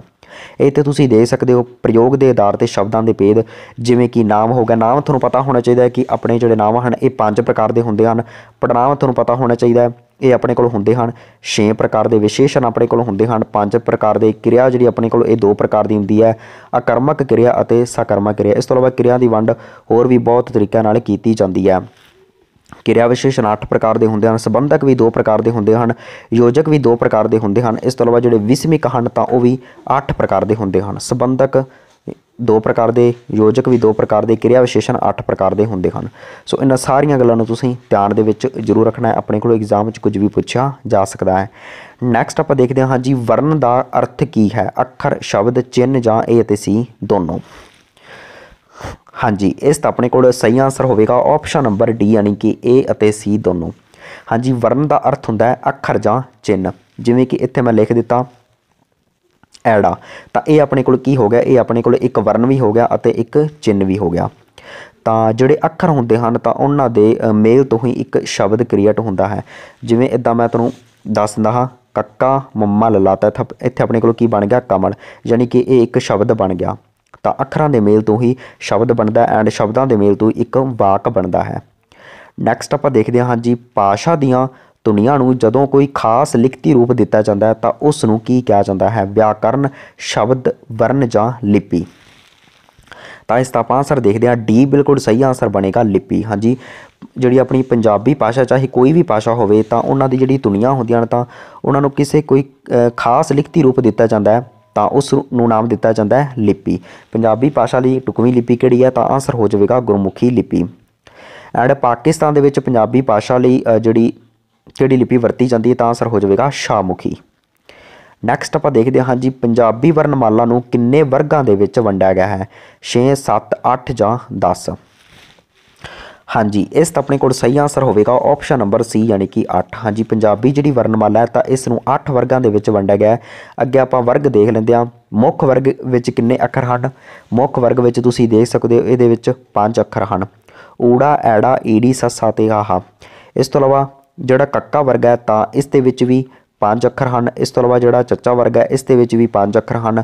ਜਿਹੜਾ ਟੈਂਕਾ ਵਰਗ ਹੈ ਤਾਂ ਇਸ ਦੇ ਵਿੱਚ ਵੀ ਪੰਜ ਅੱਖਰ ਹਨ। ਇਸ ਤੋਂ ਇਲਾਵਾ ਜਿਹੜਾ ਤੱਤਾ ਵਰਗ ਹੈ ਤਾਂ ਇਹਦੇ ਵਿੱਚ ਵੀ ਪੰਜ ਅੱਖਰ ਹਨ। ਅੱਗੇ ਆਪਾਂ ਦੇਖਦੇ ਹਾਂ ਜਿਹੜਾ ਪੱਪਾ ਵਰਗ ਹੈ, ਇਹਦੇ ਵਿੱਚ ਵੀ ਪੰਜ ਹਨ। ਪੱਪਾ, ਫੱਫਾ, ਬੱਬਾ, ਪੱਬਾ ਤੇ ਮੰਮਾ। ਅੰਤਿਮ ਵਰਗ ਜਿਵੇਂ ਕਿ ਯਈਆ, ਰਾਰਾ, ਲੱਲਾ ਬੱਬਾ ਤੇ ਹੜਾੜਾ। ਇਸ ਤੋਂ ਬਾਅਦ ਨਵੀਨ ਵਰਗ ਵਿੱਚ ਕਿੰਨੇ ਅੱਖਰ ਹਨ? ਤਾਂ ਇੱਥੇ ਤੁਸੀਂ ਇੱਕ ਗੱਲ ਧਿਆਨ ਵਿੱਚ ਰੱਖਣੀ ਹੈ, ਜਿਹੜਾ ਨਵੀਨ ਵਰਗ ਹੈ, ਤਾਂ ਇਹਦੇ ਵਿੱਚ 6 ਅੱਖਰ ਹਨ। ਕਿਹੜੇ ਕਿਹੜੇ? ਸੱਸੇ ਪੈਰ ਬਿੰਦੀ, ਖੱਖੇ ਪੈਰ ਬਿੰਦੀ, ਗੱਗੇ ਪੈਰ ਬਿੰਦੀ, ਜੱਜੇ ਪੈਰ ਬਿੰਦੀ, ਫੱਫੇ ਪੈਰ ਬਿੰਦੀ ਅਤੇ ਲੱਲੇ ਪੈਰ ਬਿੰਦੀ। ਇਸ ਤੋਂ ਇਲਾਵਾ ਇੱਕ ਆਪਣੇ ਕੋਲ ਹੋਰ ਐਗਜ਼ਾਮ 'ਚ ਪ੍ਰਸ਼ਨ ਪੁੱਛਿਆ ਜਾਂਦਾ ਹੈ ਕਿ ਜਿਹੜੀ ਲੱਲੇ ਪੈਰ ਬਿੰਦੀ ਤੁਣੀ ਹੈ, ਤਾਂ ਇਸ ਦੀ ਕਾਢ ਕਿਸ ਨੇ ਕੱਢੀ ਹੈ? ਯਾਨੀ ਕਿ ਇਹ ਤੁਣੀ ਕਿਸ ਨੇ ਬਣਾਈ? ਤਾਂ ਆਨਸਰ ਹੋ ਜਾਵੇਗਾ। ਪੰਜਾਬੀ ਯੂਨੀਵਰਸਿਟੀ ਪਟਿਆਲਾ ਨੇ ਇਸ ਤੁਣੀ ਨੂੰ ਬਣਾਇਆ। ਐਂਡ ਪੰਜਾਬੀ ਯੂਨੀਵਰਸਿਟੀ ਜਿਹੜੀ ਪਟਿਆਲਾ ਇਹ ਕਿੱਥੇ ਹੈ? ਪੰਜਾਬੀ ਯੂਨੀਵਰਸਿਟੀ ਜਿਹੜੀ ਪਟਿਆਲਾ ਹੈ, ਤਾਂ ਇਸ ਦੀ ਸਥਾਪਨਾ ਕਦੋਂ ਕੀਤੀ ਗਈ ਸੀ? ਤਾਂ ਆਨਸਰ ਹੋ ਜਾਵੇਗਾ 1962 ਈਸਵੀ ਦੇ ਵਿੱਚ। ਸੋ ਇਸ ਪੁਆਇੰਟ ਨੂੰ ਵੀ ਤੁਸੀਂ ਧਿਆਨ ਦੇ ਵਿੱਚ ਰੱਖ ਸਕਦੇ ਹੋ। ਇਸ ਤੋਂ ਇਲਾਵਾ ਜੇਕਰ ਆਪਾਂ ਗੱਲ ਕਰੀਏ ਲੱਲੇ ਪੈਰ ਜਿਹੜੀ ਲੱਲੇ ਪੈਰ ਬਿੰਦੀ ਤੁਣੀ ਹੈ। ਇਹ ਕਿਸ ਨੂੰ ਕਰਦੀ? ਇਹ ਆਪਣੇ ਕੋਲ ਆਵੇਗਾ ਤਾਲਵੀ। ਇਸ ਨੂੰ ਤੁਸੀਂ ਇਹ ਇਹ ਆਪਣੇ ਕੋਲ ਇੱਕ ਤਾਲਵੀ ਤੁਨੀ ਹੈ, ਲੱਲੇ ਪੈਰ ਬਿੰਦੀ। ਨੈਕਸਟ ਆਪਾਂ ਦੇਖਦੇ ਹਾਂ, ਹਾਂਜੀ, ਪੰਜਾਬੀ ਭਾਸ਼ਾ ਦੀਆਂ ਕੁੱਲ ਕਿੰਨੀਆਂ ਲਗਾਂ ਹਨ? 9 10 6 ਜਾਂ 7 ਹਾਂਜੀ, ਇਸ ਦਾ ਆਪਣੇ ਕੋਲ ਸਹੀ ਆਨਸਰ ਹੋਵੇਗਾ ਆਪਸ਼ਨ ਨੰਬਰ ਬੀ ਯਾਨੀ ਕਿ 10 ਹਾਂਜੀ, ਪੰਜਾਬੀ ਭਾਸ਼ਾ ਦੀਆਂ ਕੁੱਲ ਕਿੰਨੀਆਂ ਲਗਾਂ ਹਨ? ਤਾਂ ਆਨਸਰ ਹੋ ਜਾਵੇਗਾ 10 ਇਸ ਤੋਂ ਇਲਾਵਾ ਇੱਕ ਗੱਲ ਤੁਸੀਂ ਹੋਰ ਨੋਟ ਕਰਨੀ ਹੈ ਕਿ ਆਪਣੀ ਜਿਹੜੀ ਪੰਜਾਬੀ ਭਾਸ਼ਾ ਹੈ ਤਾਂ ਇਸ ਦੀਆਂ ਕੁੱਲ 10 ਲਗਾਹ ਹਨ। ਇਸ ਤੋਂ ਇਲਾਵਾ ਇੱਕ ਹੋਰ ਪ੍ਰਸ਼ਨ ਐਗਜ਼ਾਮ 'ਚ ਬਣ ਜਾਂਦਾ ਹੈ ਕਿ ਪੰਜਾਬੀ ਦੀ ਉਹ ਕਿਹੜੀ ਲਗਾਹ ਹੈ? ਜਿਸ ਨਾਲ ਜਿਸ ਦਾ ਕੋਈ ਵੀ ਚਿੰਨ੍ਹ ਨਹੀਂ ਹੁੰਦਾ ਤਾਂ ਫਿਰ ਆਨਸਰ ਹੋਵੇਗਾ ਮੁਕਤਾ। ਮੁਕਤੇ ਨਾਲ ਕੋਈ ਵੀ ਚਿੰਨ੍ਹ ਨਹੀਂ ਲੱਗਦਾ। ਜੇਕਰ ਆਪਾਂ ਗੱਲ ਕਰੀਏ ਐਗਜ਼ਾਮਪਲ ਦੀ ਗੱਲ ਕਰੀਏ, ਜਿਵੇਂ ਮੈਂ ਲਿਖ ਦਿੱਤਾ ਅਮਨ। ਇੱਥੇ ਆਪਣੇ ਕੋਲ ਤੁਸੀਂ ਦੇਖ ਸਕਦੇ ਹੋ, ਆਪਣੇ ਕੋਲ ਕੋਈ ਵੀ ਲਗਾ ਯੂਜ਼ ਨਹੀਂ ਹੋਈ ਤਾਂ ਇੱਥੇ ਆਪਣੇ ਕੋਲ ਮੁਕਤਾ ਯੂਜ਼ ਹੋਇਆ ਤਾਂ ਇਸ ਨੂੰ ਤੁਸੀਂ ਧਿਆਨ ਵਿੱਚ ਰੱਖ ਸਕਦੇ ਹੋ, ਉਹ ਕਿਹੜੀ ਲਗਾ ਹੈ, ਜਿਸ ਨਾਲ ਕੋਈ ਵੀ ਚਿੰਨ੍ਹ ਨਹੀਂ ਲੱਗਦਾ ਤਾਂ ਆਨਸਰ ਹੋ ਜਾਵੇਗਾ ਮੁਕਤਾ। ਨੈਕਸਟ ਆਪਾਂ ਦੇਖਦੇ ਹਾਂ ਜੀ, ਕੁੱਲ ਲਗਾਖਰ ਦੀ ਗਿਣਤੀ ਕਿੰਨੀ ਹੈ ਤਾਂ ਆਨਸਰ ਹੋਵੇਗਾ 3 ਬਿੰਦੀ, ਟਿੱਪੀ ਅਤੇ ਅਦਕ। ਦੁੱਤ ਅੱਖਰਾਂ ਦੀ ਗਿਣਤੀ ਕਿੰਨੀ ਹੈ ਤਾਂ ਆਨਸਰ ਹੋ ਜਾਵੇਗਾ 3 ਹਾਹਾ, ਰਾਰਾ ਤੇ ਵਊਆ। ਦੁੱਤ ਅੱਖਰ ਨੂੰ ਸੰਯੁਕਤ ਅੱਖਰ ਜੁੜਵੇਂ ਅੱਖਰ ਵੀ ਕਿਹਾ ਜਾਂਦਾ ਹੈ। ਸੰਯੁਕਤ ਅੱਖਰ ਜਾਂ ਜੁੜਵੇਂ ਅੱਖਰ ਕਿਉਂ ਕਿਹਾ ਜਾਂਦਾ ਹੈ? ਕਿਉਂਕਿ ਇਹ ਪੈਰ ਦੇ ਵਿੱਚ ਪਾਏ ਜਾਂਦੇ ਹਨ। ਜਿਵੇਂ ਮੈਂ ਇੱਥੇ ਲਿਖ ਦਿੱਤਾ, ਪ੍ਰਤੀਕ। ਤਾਂ ਇੱਥੇ ਤੁਸੀਂ ਦੇਖ ਸਕਦੇ ਹੋ, ਪੱਪੇ ਦੇ ਪੈਰ ਵਿੱਚ ਆਪਣੇ ਕੋਲ ਰਾਰਾ ਪੈ ਚੁੱਕਿਆ ਤੇ ਇੱਥੇ ਆਪਣੇ ਕੋਲ ਆਨਸਰ ਬਣ ਗਿਆ, ਪ੍ਰਤੀਕ। ਤਾਂ ਇਹਦਾ ਤੁਸੀਂ ਯਾਦ ਰੱਖ ਸਕਦੇ ਹੋ, ਜਿਹੜੇ ਦੁੱਤ ਅੱਖਰ ਹਨ, ਤਾਂ ਉਹਨਾਂ ਦੀ ਗਿਣਤੀ ਹੈ ਤਿੰਨ ਹਾਹਾ ਰੱਰਾ ਤੇ ਵੱਵਾ। ਇਸ ਤੋਂ ਇਲਾਵਾ ਕੁੱਲ ਲਗਾਖਰ ਦੀ ਗਿਣਤੀ ਗਿਣਤੀ ਹੈ ਤਿੰਨ, ਬਿੰਦੀ, ਟਿੱਪੀ ਅਤੇ ਅਦਕ। ਨੈਕਸਟ ਆਪਾਂ ਦੇਖਦੇ ਹਾਂ ਜੀ, ਜਿਹੜੇ ਅੱਖਰ ਕਿਸੇ ਹੋਰ ਅੱਖਰ ਦੇ ਪੈਰ ਵਿੱਚ ਪਾਏ ਜਾਂਦੇ ਹਨ, ਤਾਂ ਉਹਨਾਂ ਨੂੰ ਕੀ ਕਿਹਾ ਜਾਂਦਾ ਹੈ? ਤਾਂ ਮੈਂ ਤੁਹਾਨੂੰ ਪਹਿਲਾਂ ਹੀ ਦੱਸ ਚੁੱਕਿਆ ਹਾਂ, ਤਾਂ ਇਸ ਦਾ ਆਪਣੇ ਕੋਲ ਆਨਸਰ ਬਣੇਗਾ ਆਪਸ਼ਨ ਨੰਬਰ ਡੀ ਯਾਨੀ ਕਿ ਉਪਰੋਕਤ ਸਾਰੇ।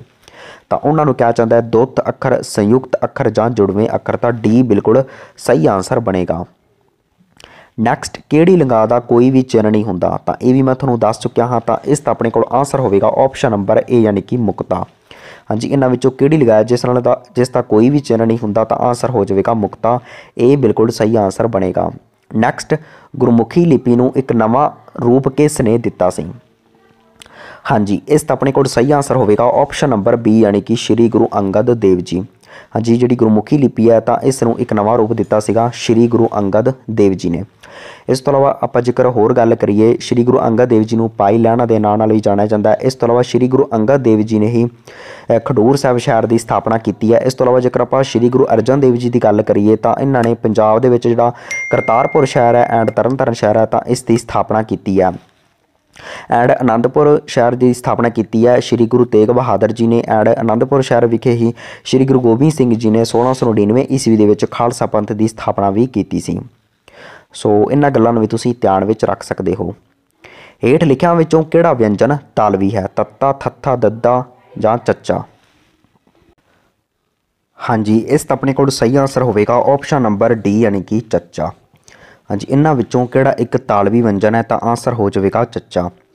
ਇਸ ਤੋਂ ਇਲਾਵਾ ਤੱਤਾ ਹੋ ਗਿਆ, ਥੱਥਾ ਹੋ ਗਿਆ, ਦੱਦਾ ਹੋ ਗਿਆ, ਇਹ ਆਪਣੇ ਕੋਲ ਸਾਰੇ ਹੀ ਦੰਤੀ ਵਿਅੰਜਨ ਹਨ, ਸੋ ਇਹਨਾਂ ਨੂੰ ਵੀ ਤੁਸੀਂ ਧਿਆਨ ਦੇ ਵਿੱਚ ਰੱਖ ਸਕਦੇ ਹੋ।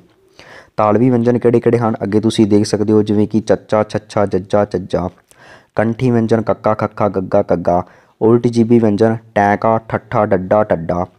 ਦੰਤੀ ਵਿਅੰਜਨ ਤੱਤਾ, ਥੱਥਾ, ਦੱਦਾ, ਤੱਦਾ, ਨੰਨਾ। ਇਸ ਤੋਂ ਇਲਾਵਾ ਦੋ ਹੋਠੀ ਵਿਅੰਜਨ ਕਿਹੜੇ ਕਿਹੜੇ ਹਨ? ਪੱਪਾ, ਫੱਫਾ, ਬੱਬਾ, ਪੱਬਾ ਅਤੇ ਮੰਮਾ।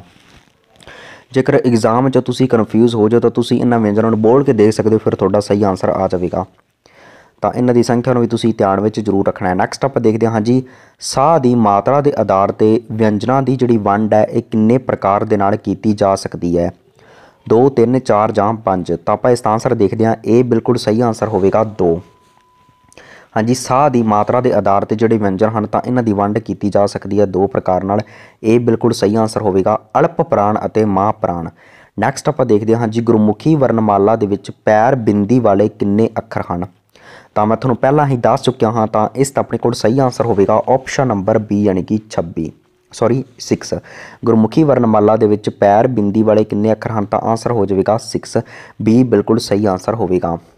ਕਿਹੜੇ ਕਿਹੜੇ ਹਨ? ਸੱਸੇ ਪੈਰ ਬਿੰਦੀ ਖੱਖੇ ਪੈਰ ਬਿੰਦੀ, ਗੱਗੇ ਪੈਰ ਬਿੰਦੀ ਜੱਜੇ ਪੈਰ ਬਿੰਦੀ, ਫੱਫੇ ਪੈਰ ਬਿੰਦੀ ਤੇ ਲੱਲੇ ਪੈਰ ਬਿੰਦੀ।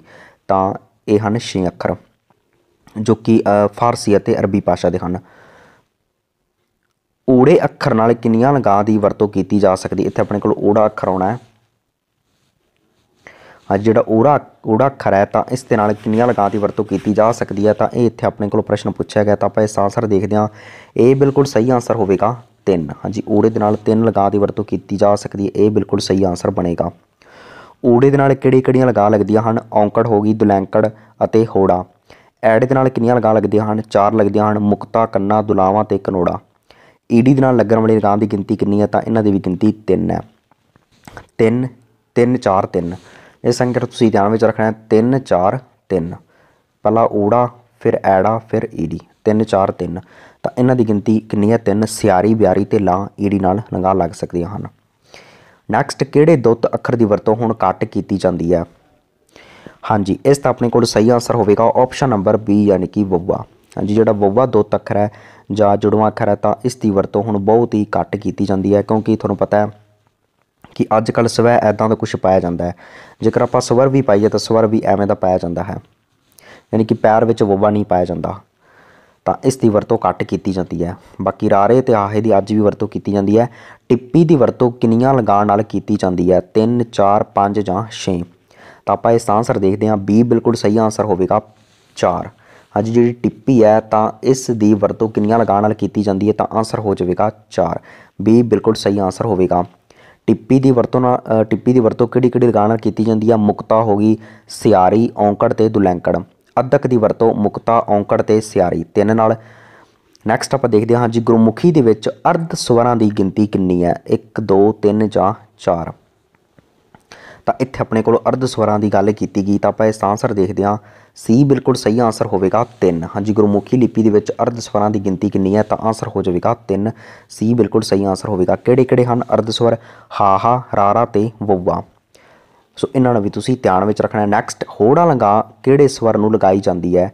ਹਾਹਾ ਹਾ ਈਡੀ ਊੜੇ ਨ ਹੋੜਾ ਸੌਰੀ ਓੜਾ ਕੇ ਆੜਾ। ਤਾਂ ਇਸ ਦਾ ਆਪਣੇ ਕੋਲ ਸਹੀ ਆਨਸਰ ਹੋਵੇਗਾ ਆਪਸ਼ਨ ਨੰਬਰ ਸੀ ਯਾਨੀ ਕਿ ਊੜਾ ਇੱਥੇ ਆਪਣੇ ਕੋਲ ਓੜਾ ਆਉਣਾ ਸੀਗਾ। ਜਿਹੜੀ ਹੋੜਾ ਲਗਾਇਆ ਇਹ ਕਿਹੜੇ ਸਵਰ ਨੂੰ ਲਗਾਈ ਜਾਂਦੀ? ਤਾਂ ਆਨਸਰ ਹੋ ਜਾਵੇਗਾ ਓੜਾ ਸੀ ਬਿਲਕੁਲ ਸਹੀ ਆਨਸਰ ਹੋਵੇਗਾ। ਨੈਕਸਟ ਆਪਾਂ ਦੇਖਦੇ ਹਾਂ ਜੀ, ਪੰਜਾਬੀ ਸ਼ਬਦ ਦੀ ਜਿਹੜੀ ਪਹਿਲੀ ਵਾਰ ਵਰਤੋਂ ਹੈ, ਇਹ ਕਿਸ ਨੇ ਕੀਤੀ ਸੀ? ਸੋ ਇਹ ਪ੍ਰਸ਼ਨ ਐਗਜ਼ਾਮ 'ਚ ਆ ਸਕਦਾ ਹੈ। ਪਹਿਲਾਂ ਸ਼ਾਇਦ ਹੀ ਆਇਆ ਹੋਵੇ ਇਹ ਪ੍ਰਸ਼ਨ ਬਟ ਆਉਣ ਵਾਲੇ ਐਗਜ਼ਾਮ 'ਚ ਪੁੱਛਿਆ ਜਾ ਸਕਦਾ ਹੈ ਤਾਂ ਇਸ ਦਾ ਆਪਣੇ ਕੋਲ ਆਨਸਰ ਹੋਵੇਗਾ। ਆਪਸ਼ਨ ਨੰਬਰ ਡੀ ਯਾਨੀ ਕਿ ਹਾਫਿਜ਼ ਬਰਖੁਰਦਾਰ ਨੇ ਪੰਜਾਬੀ ਸ਼ਬਦ ਦੀ ਪਹਿਲੀ ਵਾਰ ਵਰਤੋਂ ਕੀਤੀ ਸੀ। ਡੀ ਬਿਲਕੁਲ ਸਹੀ ਆਨਸਰ ਹੋ ਜਾਵੇਗਾ। ਨੈਕਸਟ ਆਪਾਂ ਦੇਖਦੇ ਹਾਂ ਜੀ ਪੰਜਾਬੀ ਭਾਸ਼ਾ ਦਾ ਮੂਲ ਰੂਪ ਕਿਹੜਾ ਹੈ? ਅਰਬੀ, ਸੰਸਕ੍ਰਿਤ, ਪਾਲੀ ਜਾਂ ਫਾਰਸੀ? ਤਾਂ ਗੱਲ ਕੀਤੀ ਗਈ ਹੈ ਮੂਲ ਰੂਪ ਦੀ ਤਾਂ ਆਪਣੇ ਕੋਲ ਆਨਸਰ ਬਣੇਗਾ ਆਪਸ਼ਨ ਨੰਬਰ ਬੀ ਯਾਨੀ ਕਿ ਸੰਸਕ੍ਰਿਤ। ਹਾਂਜੀ, ਪੰਜਾਬੀ ਭਾਸ਼ਾ ਦਾ ਮੂਲ ਰੂਪ ਕਿਹੜਾ ਹੈ ਤਾਂ ਆਨਸਰ ਹੋ ਜਾਵੇਗਾ ਸੰਸਕ੍ਰਿਤ ਬੀ ਬਿਲਕੁਲ ਸਹੀ ਆਨਸਰ ਹੋਵੇਗਾ। ਸੋ ਇਹ ਵੀ ਐਗਜ਼ਾਮ 'ਚ ਪ੍ਰਸ਼ਨ ਬਹੁਤ ਵਾਰ ਰਿਪੀਟ ਹੋਇਆ ਹੈ। ਨੈਕਸਟ ਆਪਾਂ ਦੇਖਦੇ ਹਾਂ ਜੀ, ਪੈਰ ਬਿੰਦੀ ਵਾਲੇ ਅੱਖਰ ਕਿਹੜੀ ਭਾਸ਼ਾ ਤੋਂ ਲੈ ਗਏ ਹਨ? ਅਰਬੀ, ਫਾਰਸੀ, ਸੰਸਕ੍ਰਿਤ ਜਾਂ ਏ ਅਤੇ ਬੀ ਦੋਨੋਂ? ਹਾਂਜੀ, ਇਸ ਦਾ ਆਪਣੇ ਕੋਲ ਸਹੀ ਆਨਸਰ ਹੋਵੇਗਾ ਆਪਸ਼ਨ ਨੰਬਰ ਡੀ ਯਾਨੀ ਕਿ ਏ ਅਤੇ ਬੀ ਦੋਨੋਂ। ਹਾਂਜੀ, ਪੈਰ ਬਿੰਦੀ ਵਾਲੇ ਜਿਹੜੇ ਅੱਖਰ ਹਨ, ਇਹ ਕਿਹੜੀ ਭਾਸ਼ਾ ਤੋਂ ਲੈ ਗਏ ਹਨ ਤਾਂ ਆਨਸਰ ਹੋ ਜਾਵੇਗਾ ਅਰਬੀ ਅਤੇ ਫਾਰਸੀ ਭਾਸ਼ਾ ਤੋਂ ਲੈ ਗਏ ਹਨ। ਡੀ ਬਿਲਕੁਲ ਸਹੀ ਆਨਸਰ ਹੋਵੇਗਾ। ਨੈਕਸਟ ਪੰਜਾਬੀ ਦੀ ਕਿਹੜੀ ਧੁਨੀ ਸੌਰੀ ਹੈ? ਤਾਂ ਇੱਥੇ ਆਪਣੇ ਕੋਲ ਗੱਲ ਕੀਤੀ ਗਈ ਹੈ, ਸੌਰੀ ਅੰਤਰੀ ਦੀ ਆਨਸਰ ਹੋਵੇਗਾ ਆਪਸ਼ਨ ਨੰਬਰ ਏ ਯਾਨੀ ਕਿ ਆਹਾ। ਹਾਂਜੀ, ਜਿਹੜੀ ਆਹਾ ਧੁਨੀ ਹੈ ਇਸ ਨੂੰ ਸੌਰੀ ਦੇ ਨਾਮ ਨਾਲ ਵੀ ਜਾਣਿਆ ਜਾਂਦਾ ਹੈ। ਇਹ ਬਿਲਕੁਲ ਸਹੀ ਆਨਸਰ ਹੋਵੇਗਾ। ਇਹ ਪ੍ਰਸ਼ਨ ਬਹੁਤ ਹੀ ਜ਼ਿਆਦਾ ਮਹੱਤਵਪੂਰਨ ਹੈ। ਇਸ ਨੂੰ ਤੁਸੀਂ ਧਿਆਨ ਵਿੱਚ ਜ਼ਰੂਰ ਰੱਖਣਾ ਹੈ। ਪੰਜਾਬੀ ਭਾਸ਼ਾ ਦੀ ਛੋਟੀ ਤੋਂ ਛੋਟੀ ਇਕਾਈ ਕਿਹੜੀ ਹੈ? ਨਾ ਕਿ ਇੱਥੇ ਆਪਣੇ ਕੋਲ ਸਾਰਥਕ ਦੀ ਗੱਲ ਕੀਤੀ ਗਈ। ਕੇਵਲ ਇਹ ਪੁੱਛਿਆ ਗਿਆ ਕਿ ਪੰਜਾਬੀ ਭਾਸ਼ਾ ਦੀ ਛੋਟੀ ਤੋਂ ਛੋਟੀ ਇਕਾਈ ਕਿਹੜੀ ਹੈ? ਤਾਂ ਆਨਸਰ ਹੋ ਜਾਵੇਗਾ ਆਪਸ਼ਨ ਨੰਬਰ ਡੀ ਯਾਨੀ ਕਿ ਅੱਖਰ। ਅੱਖਰ ਦੀ ਜਗ੍ਹਾ ਆਪਣੇ ਕੋਲ ਵਰਨ ਵੀ ਹੋ ਸਕਦਾ ਹੈ ਉੱਥੇ ਪੇਪਰ ਦੇ ਵਿੱਚ। ਤਾਂ ਫਿਰ ਵੀ ਤੁਹਾਡਾ ਆਨਸਰ ਹੋਵੇਗਾ ਵਰਨ ਜਾਂ ਅੱਖਰ। ਡੀ ਬਿਲਕੁਲ ਸਹੀ ਆਨਸਰ ਹੋਵੇਗਾ। ਨੈਕਸਟ ਆਪਾਂ ਦੇਖਦੇ ਹਾਂ, ਹਾਂਜੀ, ਪੰਜਾਬੀ ਭਾਸ਼ਾ ਦੀ ਛੋਟੀ ਤੋਂ ਛੋਟੀ ਸਾਰਥਕ ਇਕਾਈ ਕਿਹੜੀ ਹੈ? ਤਾਂ ਫਿਰ ਆਪਣੇ ਕੋਲ ਆਨਸਰ ਬਣੇਗਾ ਆਪਸ਼ਨ ਨੰਬਰ ਬੀ ਯਾਨੀ ਕਿ ਸ਼ਬਦ। ਹਾਂਜੀ, ਪੰਜਾਬੀ ਭਾਸ਼ਾ ਦੀ ਛੋਟੀ ਤੋਂ ਛੋਟੀ ਸਾਰਥਕ ਇਕਾਈ ਹੁੰਦੀ ਹੈ ਸ਼ਬਦ। ਇਸ ਤੋਂ ਇਲਾਵਾ ਪੰਜਾਬੀ ਭਾਸ਼ਾ ਦੀ ਵੱਡੀ ਤੋਂ ਵੱਡੀ ਇਕਾਈ ਹੁੰਦੀ ਹੈ ਵਾਕ। ਸੋ ਇਹਨਾਂ ਸਾਰੀਆਂ ਗੱਲਾਂ ਨੂੰ ਤੁਸੀਂ ਧਿਆਨ ਵਿੱਚ ਰੱਖਣਾ ਹੈ। ਨੈਕਸਟ ਆਪਾਂ ਦੇਖਦੇ ਹਾਂ, ਹਾਂਜੀ, ਵਰਤੋਂ ਦੇ ਆਧਾਰ ਤੇ ਜਿਹੜੀਆਂ, ਜਿਹੜੇ ਸ਼ਬਦ ਹਨ ਤਾਂ ਇਹਨਾਂ ਦੀਆਂ ਕਿੰਨੀਆਂ ਕਿਸਮਾਂ ਹੁੰਦੀਆਂ ਹਨ? 2 3 4 ਜਾਂ 5 ਹਾਂਜੀ, ਇਸ ਦਾ ਆਪਣੇ ਕੋਲ ਸਹੀ ਆਨਸਰ ਹੋਵੇਗਾ। ਆਪਸ਼ਨ ਨੰਬਰ ਏ ਯਾਨੀ ਕਿ 2 ਹਾਂਜੀ, ਵਰਤੋਂ ਦੇ ਆਧਾਰ ਤੇ ਸ਼ਬਦ ਦੀਆਂ ਕਿੰਨੀਆਂ ਕਿਸਮਾਂ ਹੁੰਦੀਆਂ ਹਨ ਤਾਂ ਆਨਸਰ ਹੋ ਜਾਵੇਗਾ 2 ਇਹ ਬਿਲਕੁਲ ਸਹੀ ਆਨਸਰ ਹੋਵੇਗਾ। ਵਰਤੋਂ ਦੇ ਆਧਾਰ ਤੇ ਸ਼ਬਦ ਦੀ ਕਿਸਮਾਂ ਦੋ ਕੋਸ਼ਗਤ ਅਤੇ ਵਿਕਾਰਨ ਵਿਆਕਰਨਕ। ਇਸ ਤੋਂ ਇਲਾਵਾ ਅਰਥ ਦੇ ਆਧਾਰ ਤੇ ਸ਼ਬਦਾਂ ਦੀ ਕਿਸਮਾਂ ਸਾਰਥਕ ਤੇ ਨਿਰਾਰਥਕ। ਇਸ ਤੋਂ ਇਲਾਵਾ ਬਣਤਰ ਦੇ ਆਧਾਰ ਤੇ ਸ਼ਬਦਾਂ ਦੀ ਕਿਸਮਾਂ ਦੋ। ਤੁਹਾਡੇ ਕੋਲ ਜੇਕਰ ਐਗਜ਼ਾਮ 'ਚ ਐਵੇਂ ਪ੍ਰਸ਼ਨ ਪੁੱਛਿਆ ਜਾਵੇ ਕਿ ਸ਼ਬਦ ਦੀਆਂ ਕਿੰਨੀਆਂ ਕਿੰਨੀਆਂ ਕਿਸਮਾਂ ਹੁੰਦੀਆਂ ਤਾਂ ਫਿਰ ਵੀ ਤੁਹਾਡਾ ਆਨਸਰ ਬਣੇਗਾ ਦੋ। ਬਣਤਰ ਦੇ ਆਧਾਰ ਤੇ ਵੀ ਦੋ ਹੁੰਦੀਆਂ ਹਨ, ਮੂਲ ਜਾਂ ਰੂੜ ਸ਼ਬਦ ਅਤੇ ਰਚਿਤ ਜਾਂ ਰੋ- ਯੋਗਿਕ ਸ਼ਬਦ। ਉਤਪਤੀ ਦੇ ਆਧਾਰ ਤੇ ਵੀ ਦੋ ਹੁੰਦੀਆਂ ਹਨ, ਤਤਸਮ ਅਤੇ ਤਦਭਵ ਸ਼ਬਦ। ਸੋ ਇਹਨਾਂ ਸਾਰੀਆਂ ਗੱਲਾਂ ਨੂੰ ਤੁਸੀਂ ਧਿਆਨ ਵਿੱਚ ਰੱਖਣਾ ਹੈ। ਨੈਕਸਟ ਆਪਾਂ ਦੇਖਦੇ ਹਾਂ, ਹਾਂਜੀ, ਰੂਪ ਦੇ ਆਧਾਰ ਤੇ ਸ਼ਬਦ ਕਿੰਨੇ ਪ੍ਰਕਾਰ ਦੇ ਹੁੰਦੇ ਹਨ? ਤਾਂ ਆਨਸਰ ਹੋ ਜਾਵੇਗਾ ਆਪਸ਼ਨ ਨੰਬਰ ਏ ਯਾਨੀ ਕਿ 2 ਹਾਂਜੀ, ਰੂਪ ਦੇ ਆਧਾਰ ਤੇ ਜਿਹੜੇ ਸ਼ਬਦ ਹਨ ਦੋ ਪ੍ਰਕਾਰ ਦੇ ਹੁੰਦੇ ਹਨ। ਇਹ ਬਿਲਕੁਲ ਸਹੀ ਆਨਸਰ ਬਣੇਗਾ, ਵਿਕਾਰੀ ਅਤੇ ਆਵਿਕਾਰੀ ਸ਼ਬਦ। ਜ਼ਿਆਦਾ ਆਪਣੇ ਕੋਲ ਇਹੀ ਪੁੱਛੇ ਜਾਂਦੇ ਹਨ। ਗੰਢ ਸ਼ਬਦ ਦਾ ਸ਼ੁੱਧ ਰੂਪ ਲਿਖੋ। ਹਾਂਜੀ, ਇਸ ਤਾਂ ਆਪਣੇ ਕੋਲ ਸਹੀ ਆਨਸਰ ਹੋਵੇਗਾ ਆਪਸ਼ਨ ਨੰਬਰ ਬੀ ਯਾਨੀ ਕਿ ਗੰਢ। ਇੱਥੇ ਆਪਣੇ ਕੋਲ ਡਾੜਾ ਆਉਣਾ ਹੈ, ਤਾਂ ਬੀ ਬਿਲਕੁਲ ਸਹੀ ਆਨਸਰ ਹੋਵੇਗਾ। ਨੈਕਸਟ ਆਪਾਂ ਦੇਖਦੇ ਹਾਂ ਜੀ ਬਣਤਰ ਦੇ ਆਧਾਰ ਤੇ ਸ਼ਬਦ ਕਿੰਨੇ ਪ੍ਰਕਾਰ ਦੇ ਹੁੰਦੇ ਹਨ। ਤਾਂ ਆਪਾਂ ਇਸ ਆਨਸਰ ਦੇਖਦੇ ਹਾਂ ਡੀ ਬਿਲਕੁਲ ਸਹੀ ਆਨਸਰ ਹੋਵੇਗਾ 2 ਹਾਂਜੀ ਬਣਤਰ ਦੇ ਆਧਾਰ ਤੇ ਜਿਹੜੇ ਸ਼ਬਦ ਹਨ, ਤਾਂ ਇਹ ਦੋ ਪ੍ਰਕਾਰ ਦੇ ਹੁੰਦੇ ਹਨ ਡੀ ਬਿਲਕੁਲ ਸਹੀ ਆਨਸਰ ਹੋ ਜਾਵੇਗਾ। ਸੋ ਇਸ ਦੇ ਨਾਲ ਹੀ ਅੱਜ ਦੀ ਆਪਣੀ ਇਹ ਵੀਡੀਓ ਇੱਥੇ ਹੀ ਸਮਾਪਤ ਹੁੰਦੀ ਹੈ। ਸੋ ਉਮੀਦ ਕਰਦਾ ਹਾਂ ਕਿ ਇਹ ਵੀਡੀਓ ਤੁਹਾਨੂੰ ਬਹੁਤ ਹੀ ਜ਼ਿਆਦਾ ਹੈਲਪਫੁਲ ਲੱਗੀ ਹੋਵੇਗੀ। ਸੋ ਵੀਡੀਓ ਨੂੰ ਵੱਧ ਤੋਂ ਵੱਧ ਸ਼ੇਅਰ ਐਂਡ ਲਾਈਕ ਜ਼ਰੂਰ ਕਰਕੇ ਜਾਣਾ ਹੈ ਐਂਡ ਜਿਹੜੇ ਵਿਦਿਆਰਥੀਆਂ ਨੇ ਚੈਨਲ ਨੂੰ ਹਜੇ ਵੀ ਸਬਸਕ੍ਰਾਈਬ ਨਹੀਂ ਕੀਤਾ ਤਾਂ ਪਲੀਜ਼ ਹੁਣੇ ਹੀ ਚੈਨਲ ਨੂੰ ਸਬਸਕ੍ਰਾਈਬ ਕਰਕੇ ਬੈਲ ਆਈਕਨ ਤੇ ਵੀ ਜ਼ਰੂਰ ਪ੍ਰੈਸ ਕਰ ਲੈਣਾ ਹੈ। ਤਾਂ ਜੋ ਅੱਗੇ ਆਉਣ ਵਾਲੀਆਂ ਹਰੇਕ ਵੀਡੀਓਜ਼ ਦਾ ਨੋਟੀਫਿਕੇਸ਼ਨ ਤੁਹਾਨੂੰ ਟਾਈਮ ਟੂ ਟਾਈਮ ਮਿਲਦਾ ਰਹੇ। ਇਸ ਤੋਂ ਇਲਾਵਾ ਜਿੰਨੇ ਵੀ ਆਪਾਂ ਇਸ ਵੀਡੀਓ ਦੇ ਵਿੱਚ ਐਮਸੀਕਿਊਜ਼ ਕੀਤੇ ਹਨ, ਤਾਂ ਇਹਨਾਂ ਵਿੱਚੋਂ ਲਗਭਗ ਤੁਹਾਨੂੰ ਡਾਟਾ ਪੇਪਰ ਦੇ ਵਿੱਚ ਮਿਲ ਜਾਵੇਗਾ ਬਟ ਫਿਰ ਵੀ ਜਿਹੜੇ ਆਪਣੇ ਕੋਲ ਸ਼ਬਦ ਦੇ ਭੇਦ ਹਨ, ਜਿਵੇਂ ਕਿ ਨਾਮ ਹੋ ਗਿਆ ਪੜਨਾਮ ਹੋ ਗਿਆ ਕਿਰਿਆ ਵਿਸ਼ੇਸ਼ਣ ਤਾਂ ਇਹਨਾਂ ਨੂੰ ਤੁਸੀਂ ਬੁੱਕਸ ਦੇ ਵਿੱਚੋਂ ਪੜ੍ਹ ਲੈਣਾ, ਜਿਵੇਂ ਕਿ ਆਪਣੇ ਕੋਲ ਬੁੱਕ ਆਉਂਦੀ ਹੈ 10th ਕਲਾਸ ਦੀ ਗ੍ਰਾਮਰ ਤਾਂ ਉਸ ਨੂੰ ਤੁਸੀਂ ਚੰਗੀ ਤਰ੍ਹਾਂ ਰੀਡ ਕਰਨਾ, ਉਹਦੇ ਵਿੱਚੋਂ ਹੀ ਆਪਣੇ ਕੋਲ ਜਿਹੜਾ ਡਾਟਾ ਉਹ ਪੇਪਰ ਦੇ ਵਿੱਚ ਪੁੱਛਿਆ ਜਾਂਦਾ ਹੈ, ਤਾਂ ਉਸ ਨੂੰ ਵੀ ਤੁਸੀਂ ਇੱਕ ਤੋਂ ਦੋ ਵਾਰ ਧਿਆਨ ਦੇ ਨਾਲ ਜ਼ਰੂਰ ਪੜ੍ਹ ਲੈਣਾ ਹੈ। ਸੋ ਇੱਕ ਹੋਰ ਰਿਕੁਐਸਟ ਕਰਦਾ ਹਾਂ ਕਿ ਇਸ ਵੀਡੀਓ ਨੂੰ ਤੁਸੀਂ ਲਗਭਗ ਆਪਣੇ 10 ਫਰੈਂਡਸ ਦੇ ਨਾਲ ਜਰੂਰ ਸ਼ੇਅਰ ਕਰਨਾ ਹੈ, ਕਿਉਂਕਿ ਤੁਹਾਨੂੰ ਵੀ ਪਤਾ ਹੈ ਕਿ ਵੀਡੀਓ ਨੂੰ ਬਣਾਉਣ ਤੇ ਬਹੁਤ ਹੀ ਜ਼ਿਆਦਾ ਮਿਹਨਤ ਲੱਗਦੀ ਹੈ। ਪਹਿਲਾਂ ਡਾਟਾ ਟਾਈਪ ਕਰਨਾ ਪੈਂਦਾ, ਤਾਂ ਉਸ ਤੋਂ ਬਾਅਦ ਫਿਰ ਵੀਡੀਓ ਨੂੰ ਬਣਾਉਣਾ ਪੈਂਦਾ ਹੈ। ਤਾਂ ਡਾਟਾ ਟਾਈਪ ਕਰਨ ਦੇ ਬਹੁਤ ਹੀ ਜ਼ਿਆਦਾ ਟਾਈਮ ਲੱਗਦਾ ਹੈ, ਤਾਂ ਵੀਡੀਓ ਨੂੰ ਵੱਧ ਤੋਂ ਵੱਧ ਸ਼ੇਅਰ ਜਰੂਰ ਕਰ ਦਿਆ ਕਰੋ। ਤਾਂ ਹੁਣ ਵੀਡੀਓ ਨੂੰ ਇੱਥੇ ਆਪਾਂ ਸਮਾਪਤ ਕਰਦੇ ਹਾਂ। ਮਿਲਦੇ ਹਾਂ ਕਿਸੇ ਨੈਕਸਟ ਵੀਡੀਓ ਦੇ ਵਿੱਚ। Thank you